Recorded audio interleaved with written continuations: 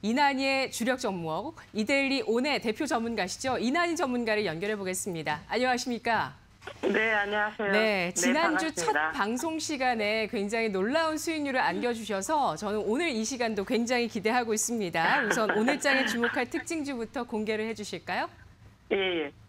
지금 보면은 시장에서 좀 이렇게 테마들이 그죠 이렇게 많이 움직이고 있는데 뭐 가장 지금 그 어, 현재 어떤 분위기에 맞게끔 어, 코로나 관련한 뭐 요런 어떤 어, 테마들 그리고 지금 보면은 어, 보궐선거가 끝나고 난 이후에 에, 지금 보면은 대선과 연결되는 이런 부분들이 있기 때문에 이번 주에도 이 그 뭡니까 뭐 12일, 14일 이 보면은 어, 향후에 대권 주자로 움직일 수 있는 어, 그런 어떤 분들의 행보와 관련된 이런 내용들이 있기 때문에 아무래도 좀 대선주들도 좀 움직이지 않겠나 이렇게 보고요.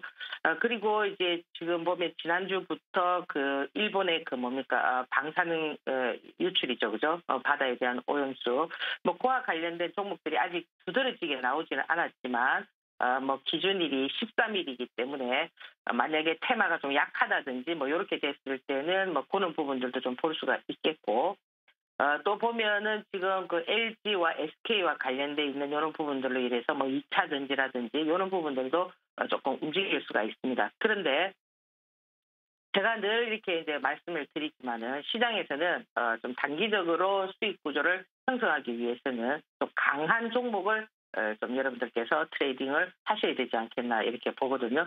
그래서 제가 뭐 늘 말씀을 드리지만은 지난주에도 말씀드렸던 이 자이언트스텝과 관련돼 있는 이 종목은 지금 현재 코로나와 관련돼 있는 언택트 비즈니스와 관련돼 있는 그런 부분입니다. 그죠? 그래서 어, 좀 비대면 어, 이 메타버스를 좀 더 확산시키면은 상당히 더좀 이렇게 에, 분류가 크게 될 수가 있기 때문에 어, 물론 이 기술적으로 보면은 상당히 지금 여러분들이 트레이딩을 하기 힘든 그죠? 그런 어떤 스윙 자리에서는 보기는 좀 힘들 수가 있겠지만은 이 주식이라는 거는 가는 종목이 더 힘을 내어서 어, 달리는 경우가 상당히 많습니다. 그래서 여러분들께서 이 종목을 트레이딩 하실 때는 항상 기준을 잡아주시면은 어, 언제든지 에, 그 가능하다. 그 기준은 뭐냐? 5일선 기준을 잡으시면 된다라는 겁니다. 특히나 이런 급등주나 이런 어, 세력주들은 그죠? 이 5일선이 생명선이기 때문에 또 특히나 이런 종목들은 신규주기 때문에 또 이점이 있습니다. 앞에 어떤 매물벽들이라든지 이런 것들이 에, 가볍기 때문에 치고 나가게 된다면 그 탄력성이 상당히 강하게 움직일 수 있는 이런 부분이다 이렇게 말씀을 드리고요. 어, 또 하나 이제 이 대선주 중에서는 지금 뭐 12일자, 아, 12일, 14일 뭐 다른 대권 주자들의 움직임도 있지만은 저는 이 에이텍과 에이텍 TN에 대해서 좀 말씀을 드리면요.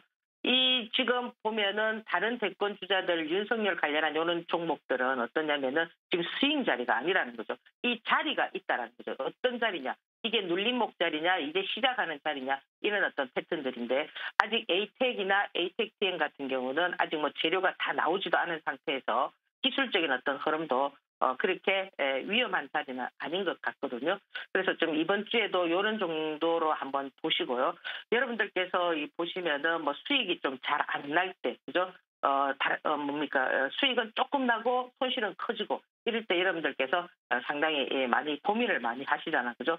뭐 이건 내가 뭐 전생에 뭐 죄를 지었나? 그죠? 뭐 내가 뭐 이렇게 뭐 사주팔자가 좋지 않나? 이런 생각들 많이 하시는데 그게 아니고 이 주식이라는 거는 학문은 아니지만은 어, 이 경험치가 상당히 중요합니다. 그래서 여러분들께서 노트 매매보다는 직접적으로 이런 어떤 테마에 관련돼 있는 종목들은 트레이딩을 통해서 한 주, 두, 주, 두 주를 사보면서 이 연습 매매가 아, 상당히 예, 중요하다는 말씀을 드리고요. 또 안 될 때는 어떻습니까? 잘 되는 사람을 따라가는 그것도 하나의 전략이 될 수가 있습니다. 자, 이번 주 성공 투자하시고요. 다음 주 뵙도록 하겠습니다. 감사합니다. 알겠습니다. 의견 잘 들었습니다. 고맙습니다. 예, 감사합니다. 네, 그렇습니다.